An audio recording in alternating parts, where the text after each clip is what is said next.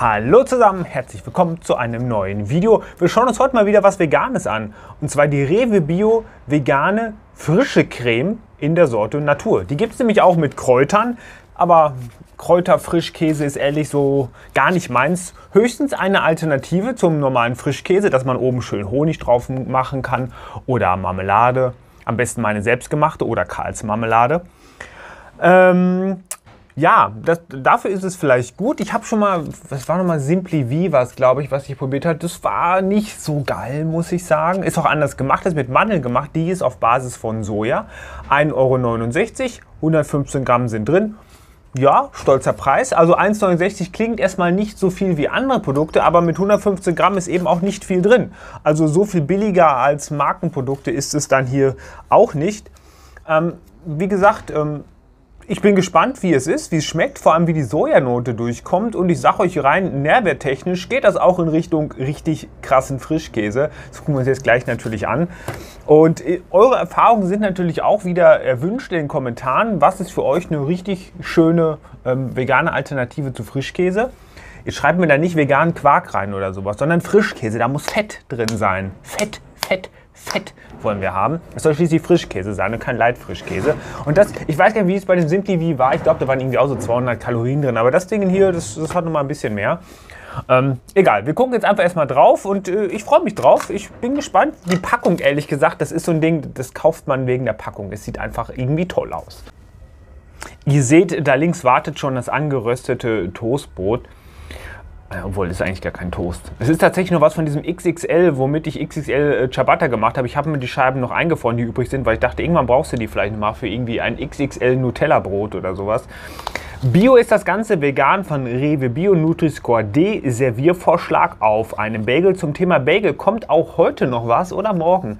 Ich, war, ich, ich glaube, ich mache es heute oder, oder morgen. Jedenfalls, ihr solltet natürlich sowieso in jedes Mittagsvideo und vor allem in jedes neuen, obwohl, was heißt vor allem, ihr solltet in jedes Video gucken, was ich veröffentliche. Aber heute oder morgen um 19 Uhr kommt, äh, ich war mal wieder bei eigentlich nicht. Ich habe mal wieder die Too Good To Go.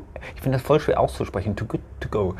App ausprobiert und war bei Coffee Fellows. Und äh, das gucken wir uns an, heute am Mittwoch oder morgen am Donnerstag. Auf Basis von Soja hier sind die Zutaten, das gucken wir uns gleich an. Wasser, Sojabohnen, Sonnenblumenöl, das ist natürlich positiv, kein Palmfett. Das geht dann in Richtung, wir wollen naturbewusster sein. Wobei über das Thema Palmfett, ich kann es mir nicht verkneifen. Bitte googelt einfach mal. Bei Quarks gibt es einen schönen Bericht dazu und Quarks ist jetzt nun wirklich kein Galileo, was Wissen angeht, sondern die haben Ahnung, im Gegensatz zu Galileo, die einfach nur Bildniveau haben. Ähm, Palmöl ist nicht so schlecht, wie man immer glaubt. Man muss halt auf gewisse Aspekte nur dabei achten. Gibt man einen Quarks Palmöl schlecht? Fragezeichen. Irgendwie sowas. Scheröl, Zitronensaft. Warum? Damit es säuerlicher schmeckt. Zucker ist ein bisschen drin. Warum auch immer. Speisesalz, Stärke, Verdickungsmittel. Denn wir haben hier schließlich Sonnenblumenöl drin, Scheröl. Ich bin mir nicht sicher. Ich glaube, Shea. Oh, Sekunde, da ruft gerade mal jemand an. Es war nämlich gerade die Reparaturfirma, die sich um unseren Kühlschrank kümmern muss, der nämlich äh, nicht äh, so wirklich die Temperatur hält im Gefrierfach, der billige Scheiß. Ne? Ganz neu gekauft und schon irgendwas im Arsch. Schrott. Man kriegt nur noch Schrott gekauft. Und es war jetzt auch nicht irgendein Billo-Scheiß. War jetzt auch nicht der teuerste, aber auch kein Billo-Scheiß. Selbst der billigste Kühlschrank darf nicht im Arsch sein. Ähm, was habe ich jetzt gesagt? Ähm, ich war wieder bei Palmöl. Ich habe es vergessen. Milchsäurebakterien sind irgendwo drin. Trockenhefe, vielleicht Geschmacksverstärker? Fragezeichen. Man weiß es nicht genau. Ähm, hier haben wir die Nährwerte und ihr seht 278 Kilokalorien. Die Kalorien kommen alle vom Fett so gut wie. 28 Gramm Fett sind drin, Kohlenhydrate 2,5, normaler Frischkäse also ungefähr 4, ähm, ganz wenig Zucker nur drin, Eiweiß 4 und so ein Frischkäse je nach Art hat auch so vielleicht so, so 6, 7, 8, 9, 10, so je nachdem. Aber so ist das hier auf jeden Fall was cremiges, würde ich jetzt mal sagen. Gucken da jetzt mal rein. Das ist wirklich ein kleines Töpfchen. Aber Mann, guck doch mal, wie schön die Packung aussieht. Ich finde sie richtig toll. Ich bin so richtig Verpackungsopfer an der Stelle.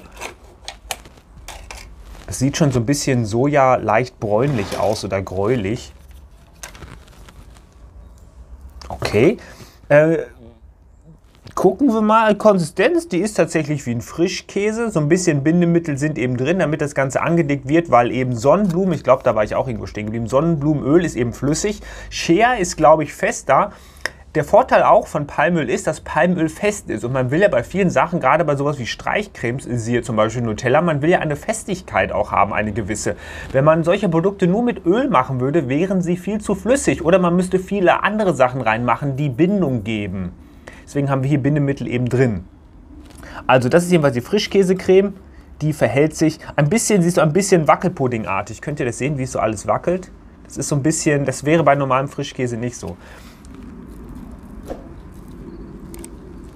So, ich bin sehr gespannt. Ich hoffe, es schmeckt nicht nur nach Zitrone. Es riecht nach Toastbrot. Eigentlich müsste ich es jetzt erstmal pur probieren. Also pur. Ja, es schmeckt nach Soja. Es schmeckt leicht säuerlich. Es schmeckt sehr voll. Es ist recht salzig, wie ich finde. Aber so viel Salz ist auch nicht drin, aber man schmeckt es.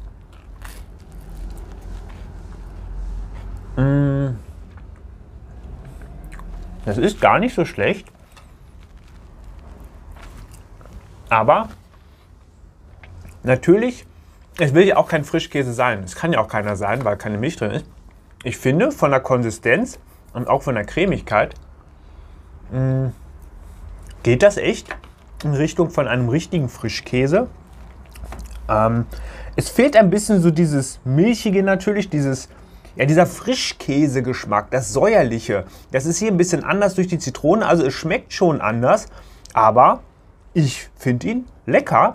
Also für so einen veganen Aufstrich, den könnt ihr meiner Meinung nach gerne ausprobieren. Rechnet mit ein bisschen Sojageschmack, rechnet mit einem natürlich nicht vorhandenen echten Frischkäsegeschmack und rechnet eben auch mit einer recht salzigen Angelegenheit, wie ich finde. Ähm, positiv übrigens auch kein Aroma drin. Und ja, also ich finde es lecker, meiner Meinung nach. Vielleicht habt ihr ihn probiert, schreibt mir eure Meinung gerne. Und ansonsten herzlichen Dank fürs Zuschauen und bis zum nächsten Mal. Macht's gut und ciao.